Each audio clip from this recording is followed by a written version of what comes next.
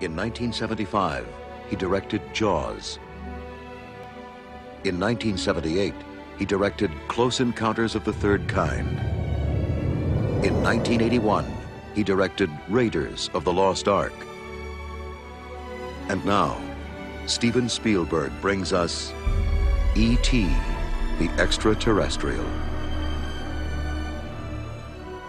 We will witness the arrival, the search, the desertion,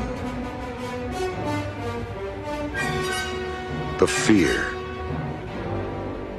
the discovery, the friendship,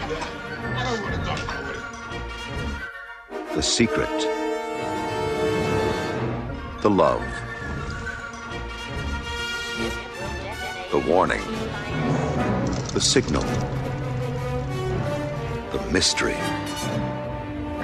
the danger.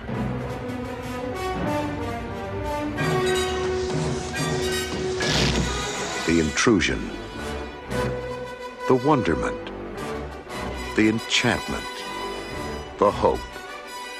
The connection has been made. Universal Pictures presents Steven Spielberg's E.T. the Extraterrestrial.